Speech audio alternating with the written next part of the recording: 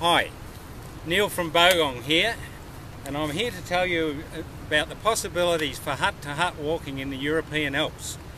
I'm talking to you from the Zillertal Alps in Austria. Wonderful place to be. Right behind me is an example of one of the huts you can stay in, the Berliner Hütte. So at a hut like the Berliner Hütte, you get a bed in there that's got a mattress, it's got blankets and bedding. All you need to take is a sleeping sheet um, to put on the bed, a pillowcase or a sleeping sheet with a pillowcase built in.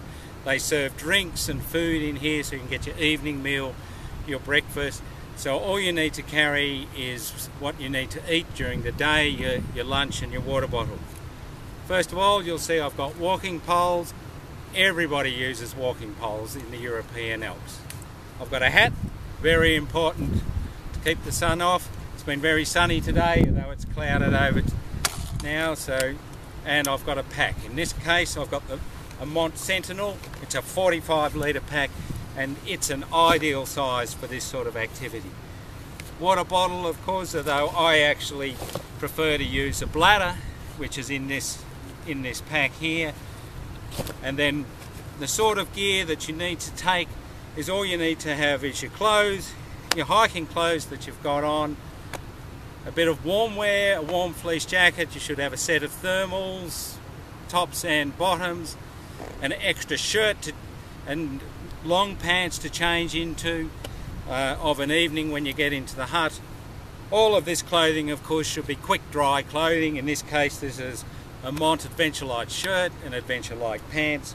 They're absolutely perfect, but there are many other brands to choose from in that sort of area.